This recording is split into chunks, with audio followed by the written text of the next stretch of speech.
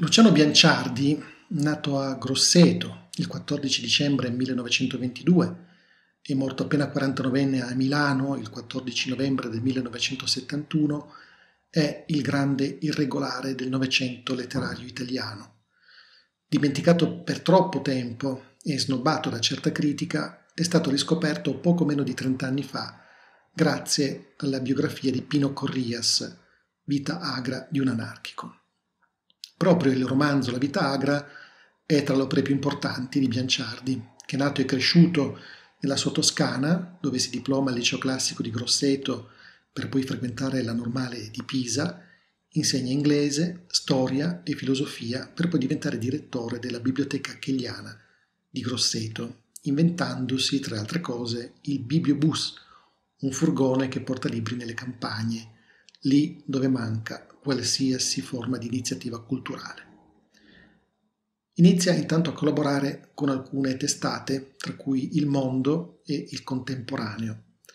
Proprio grazie al Bibliobus entra in contatto nel borgo di Ribolla con la realtà dei minatori locali, una vita durissima di povertà e sfruttamento degli ultimi che lo spinge a scrivere con l'amico Carlo Cassola un'inchiesta per il quotidiano del Partito Socialista L'Avanti, intitolata I minatori della Maremma e successivamente pubblicata sotto forma di volume. Quando nel 1954 uno dei pozzi della zona mineraria esplode, uccidendo 43 lavoratori, Bianciardi ne resta sconvolto. Si tratta per lui di una vera e propria cesura con quella prima parte della sua esistenza. Poco dopo accetta dunque l'invito di Gian Giacomo Feltrinelli che lo vuole al suo fianco a Milano per dare vita a una nuova casa editrice. E così nel 1955 Bianciardi eh, sbarca nel capoluogo lombardo dove traduce per Feltrinelli il flagello della svastica di Lord Russell e poi Tropico del Cancro e Tropico del Capricorno di Henry Miller, ma anche in seguito opere di altri mostri sacri della narrativa americana da lui tanto amata, come Jack London, William Faulkner e mm, John Steinbeck. È questo l'inizio del suo lavoro di traduttore, sua principale fonte di reddito per il resto della sua esistenza. Parafrasando un celebre racconto di Hemingway, tuttavia breve è la vita felice di Bianciardi presso la casa editrice che ha aperto la sua sede in via Andegari, a pochi passi dalla Scala. Nel 1956, infatti, Bianciardi viene licenziato per scarso rendimento, cosa che tuttavia non pregiudica del tutto i suoi rapporti con l'editore, con il quale nel 1957 pubblica Il lavoro culturale, romanzo autobiografico scritto a partire dalla sua esperienza di fondatore di cineclub e circoli culturali nella provincia italiana del primo dopoguerra, lì dove ogni entusiasmo di chi è deciso a cambiare lo status quo è destinato fatalmente a scontrarsi con il prevalere di una mentalità piccolo borghese intimamente reazionaria. Eh, ora io mh, mm, vorrei leggervi un passo dal lavoro culturale eh, perché secondo me è sempre importante eh, sentire la voce dell'autore attraverso ciò che ha scritto. Leggo dunque dal capitolo 6. Per comodità di chi voglia fruttuosamente dedicarsi al lavoro culturale, sarà opportuno raccogliere a questo punto tutta una serie di indicazioni circa il problema del linguaggio. C'è infatti un lessico, una grammatica, una sintassi e una mimica che il responsabile del lavoro culturale non può ignorare. Cominciamo subito perciò con il nocciolo della questione con il termine problema. Nonostante la differenza spaziale, alto, basso, dei due verbi, il problema si pone o si solleva, indifferentemente. Ma c'è una sfumatura di significato perché porsi è oggettivo, cioè sta a dire che il problema è venuto fuori da sé, mentre sollevare è attivo, il problema, in questo caso, non ci sarebbe stato se non fosse intervenuto qualcuno a farlo essere. Quasi sempre il problema, posto o sollevato che sia, è nuovo e si dà gran merito a chi accanto agli antichi non risolti, sollevi problemi nuovi e interessanti, o meglio ancora di estremo interesse, purché siano ovviamente concreti.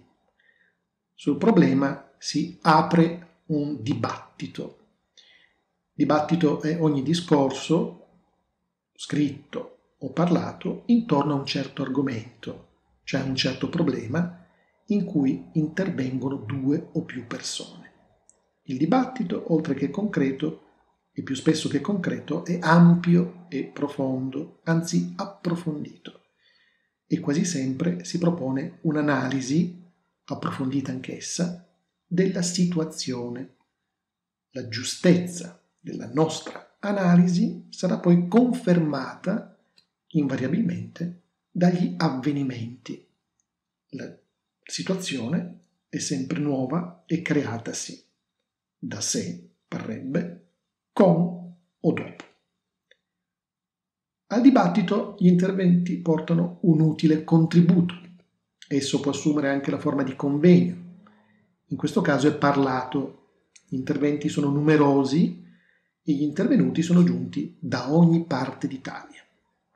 Dal dibattito scaturiscono oppure emergono o anche più semplicemente escono alcune indicazioni. Le indicazioni sono anch'esse utili. Se possono esprimersi in una breve frase, allora si chiamano parole d'ordine. Per esempio, per un, per una, cinema, teatro, romanzo, arte, cultura, scuola, pittura, scultura, architettura, poesia, nazionale e popolare. In caso contrario, quando c'è le indicazioni non abbiano questo potere di contrazione espressiva, si parlerà di tutta una serie di iniziative utili, naturalmente, e concrete, ma di massima, suscettibili cioè di elaborazione. Concreto, come si è visto, è il problema, il dibattito, l'intervento e l'indicazione. A memoria d'uomo non si è mai saputo di un problema, dibattito, eccetera, che si sia potuto definire astratto, come non si è mai saputo di un problema risolto, semmai superato dalla situazione creatasi con o dopo. A volte poi si è scoperto che il problema, pur essendo concreto, non esisteva. In casi simili basta affermare che il problema è un altro. La scelta dei problemi si chiama problematica, quella dei temi tematica. Ricordo che una volta a Firenze discussero tre ore su questo problema concreto se fosse necessario porsi prima il problema della problematica oppure quello della tematica. Un problema è anche spesso di fondo. Esso si adeguerà alle prospettive nuove e concrete di lotta per o contro. Accanto al problema, ma un po' più sotto, c'è l'esigenza. L'esigenza si sente, anzi si è sentita. A volte sorge, o meglio è sorta, e in ambedue i casi occorre andarle incontro. Problema ed esigenza riguardano a volte i rapporti con, con gli intellettuali, per esempio. Gli intellettuali possono incontrarsi da soli o accompagnati a operai e contadini. In questo secondo caso la successione di rigore è la seguente. Operai, contadini e intellettuali. Gli intellettuali possono essere illuminati, democratici, avanzati, molto vicini a noi, al servizio della classe operaia. La serie è in crescendo. Pseudo-intellettuali sono invece gli altri, quelli che si sono posti al servizio del padronato, della reazione, del grande capitale, dell'imperialismo. Ecco, io credo che da questo passo eh, del lavoro culturale eh, ci si possa rendere agevolmente conto eh, della grande eh, capacità di eh, Bianciardi eh, nell'uso dell'ironia, hm? l'ironia nei confronti di un mondo, quello dell'industria culturale, quello appunto degli intellettuali, dell'accademia, delle case editrici, che, eh, a, cui, a, cui, Bianciardi ha guardato dalla, dalla provincia da cui proviene eh, con, con grande innocenza, con una sorta di fascinazione romantica destinata poi ahimè, a lui a scontrarsi contro eh, il treno in corsa della realtà. Due anni dopo la pubblicazione del lavoro culturale presso Feltrinelli, è il 1959 Bianciardi pubblica però con Bompiani L'integrazione, altra opera prettamente autobiografica in cui lo scrittore toscano trapiantato a Milano racconta con grande ironia e pari amarezza le contraddizioni del mondo editoriale e le frustrazioni di un giovane redattore arrivato nella grande città della provincia portando appunto con sé grandi speranze destinate a rivelarsi eh, purtroppo cocenti delusioni.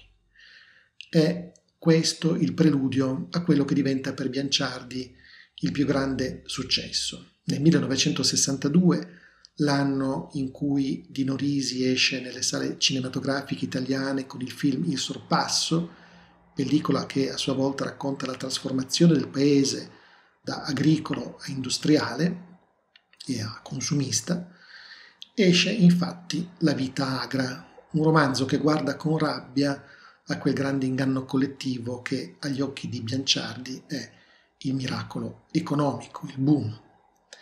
In questo libro Bianciardi si immagina un anarchico che voglia far saltare in aria il palazzo della Montecatini.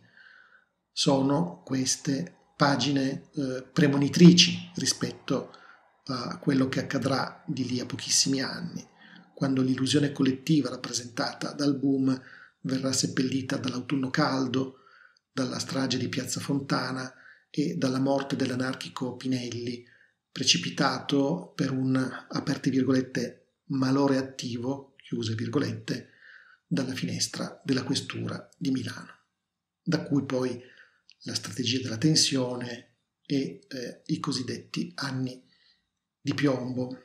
Ora io vi leggerei un altro brano, questa volta proprio da La vita agra, un brano in cui Bianciardi ci racconta proprio la Milano del boom.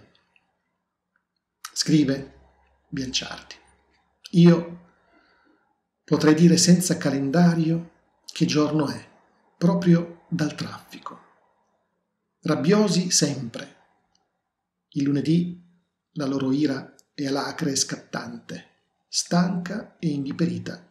Il sabato. La domenica non li vedi, li senti però, dentro le case, indaffarati coi rubinetti, le vasche da bagno, gli shampoo, i bidet, a sciacquarsi sopra e sotto, specialmente le donne, a rifarsi la testa, le labbra e gli occhi. Poi Dopo la messa, rieccoli in branco, stimolati dal digiuno, accecati dalla santità della cerimonia, drogati dalla prospettiva del relax, che si avventano al bar per la pastarella, l'aperitivo, e se hai con te un bambino te lo pestano, te lo fanno piangere. Dal bar vanno all'edicola e comprano anche tre, quattro giornali illustrati, spingendoti di lato coi gomiti, perché alla mezza devono andare in tavola e hanno premura. Il traffico astioso delle auto la domenica comincia nel primo pomeriggio, perché vanno sempre in branco alla partita. Gli altri giorni sono pericolosi e chi ha un bambino fa bene a mettergli in testa la paura del traffico e dirgli attento Nini, la macchina ti schiaccia, dai la mano a mammina, come se fossero lupi le automobili. Ma anche i grandi debbono stare attenti, se sono pedoni senza la mutua, perché se finisci sotto sei fregato. Se finisci sotto fuori delle strisce, loro non hanno da pagarti una lira, anzi sei tu che gli paghi il danno eventuale, il vetro del finestrino rotto, lo sporco del sangue sui sedili, un'ammaccatura al cofano, l'incomodo, il tempo perso, perché loro hanno sì l'obbligo di non omettere il soccorso, ma poi te lo fanno scontare, tanta benzina dal punto del sinistro all'ospedale, tanto dall'ospedale al posto dove avevano la commissione, un appuntamento mancato, un affare andato a monte per colpa tua. Loro hanno gli avvocatoni E tu sei solo.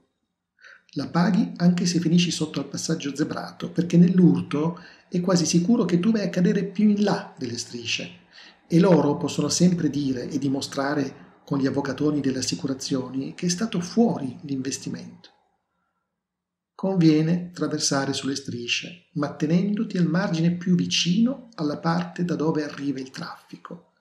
Così sei un poco più sicuro di cadere nel passaggio e i danni te li pagano, anche se penalmente non gli costa più di un quattro mesi con la condizionale. E al bimbo, se ce l'hai, mettigli bene in testa la favola del lupo automobile, anche a costo di far diventare lupo lui, che desideri la macchina per schiacciare gli altri da grande. Gli dà noia il sole, gli dà noia la pioggia, gli dà noia il vento, e se potessero, se comandassero in tutto e per tutto loro, non ci sarebbe nemmeno più il clima le stagioni, il tempo, ma soltanto una cupola grigia e fuliginosa sopra la città. E perché sia così, costantemente operano. La chiamano nebbia, se la coccolano, te la mostrano, se ne gloriano come di un prodotto locale. E prodotto locale è, solo non è nebbia. No, la nebbia è semmai nelle campagne, viene su dalle rogge fumiganti che vanno ad allagare le marcite, sì da consentire anche dieci tagli di fieno l'anno, e infatti odore di stalla, questa nebbia che trovi fuori città, ma dentro non è nebbia. È semmai una fumigazione rabbiosa, una flatulenza di uomini, di motori, di camini, è sudore, è puzzo di piedi, polverone sollevato dal taccheggiare delle segretarie, delle puttane, dei rappresentanti, dei grafici, delle stenodattilo, e fiato di denti guasti, di stomachi ulcerati, di budelle intasate, di sfinteri estitici, e fetore di ascelle deodorate, di sorche sfitte, di bischeri disoccupati. Succede a volte che in città arrivi il vento, un vento senza odore e senza nome, perché nessuno si dà la pena di fiutarlo e di chiamarlo in qualche modo. Arriva non sai da dove, anzi da ogni parte. Ti ripesca tutti i cantoni, non ti dà agio di appoventarti. Arriva e spazza via la cupola fuliginosa e per qualche ora ti sembra di esserti messo gli occhiali. Il disegno delle case si fa netto, i lumi a sera brillanti, vedi persino le stelle e il monte rosa dal terrazzino. Due, tre volte l'anno vedi il cielo longobardo, così bello quando è bello, ma subito ricominciano a taccheggiare gli attivisti, a rifare fumi, flatulenze, fetori, polveroni, esalazioni. E in un paio di giorni al massimo la cupola fuliginosa è ben ricomposta e gli attivisti ci respirano dentro soddisfatti perché hanno ritrovato l'aria natia, senza sole, senza vento e senza pioggia. Ecco, appassionato, tra le altre cose, di vicende garibaldine, Bianciardi pubblica in realtà altri romanzi risorgimentali. Vedi da Quarto a Torino, Breve storia della spedizione dei Mille, uscito nel 1960, o La battaglia soda, edito nel 1964. Ma paga caro il successo di La vita agra, diventato anche un film per la regia di Carlo Rizzani, con Ugo Tognazzi nel ruolo di protagonista.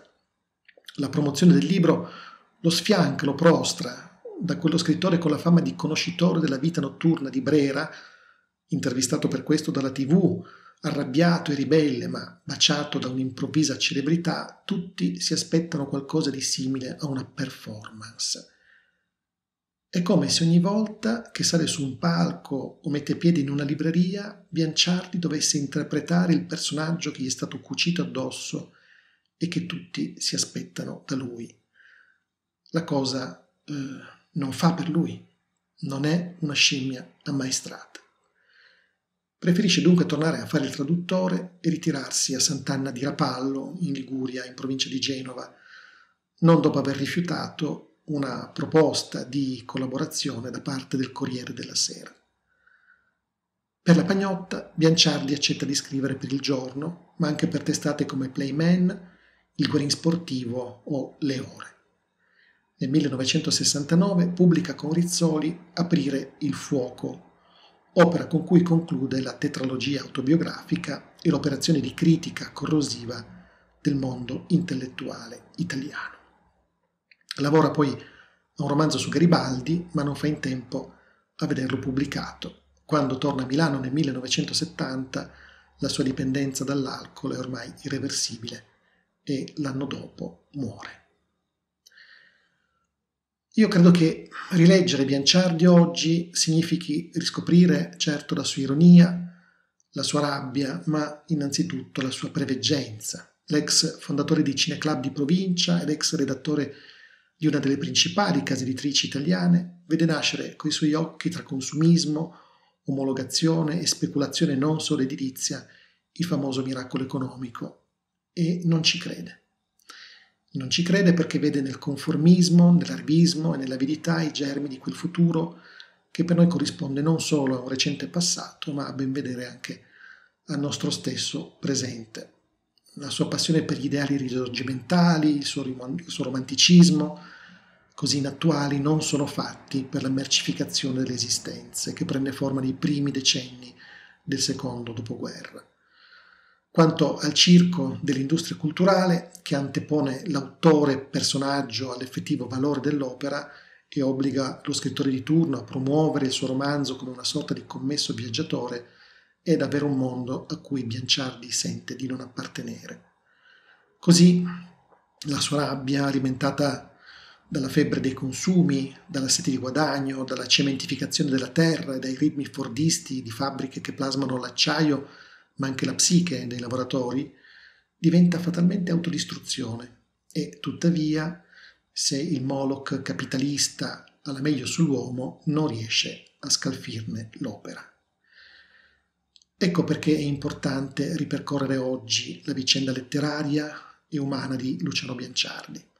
Chissà che cosa scriverebbe lui dei rider che ci consegnano il cibo mentre guardiamo serie tv americane e oltre ad essere pagati pochi euro non hanno più alcuna garanzia dal punto di vista pensionistico o della salute.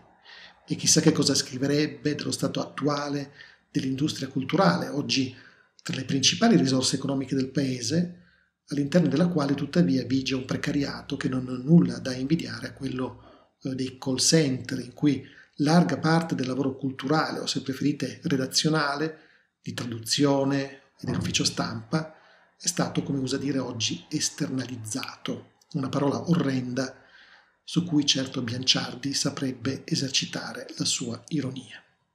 Buon per lui dunque che non abbia visto coi suoi occhi la deriva attuale, non solo quella dei diritti dei lavoratori, ma anche ecologica, col pianeta che a forza di auto e frigoriferi e colate di cemento ci sta facendo capire senza tanti giri di parole che la specie umana non è più la benvenuta all'interno dell'ecosistema che sta distruggendo.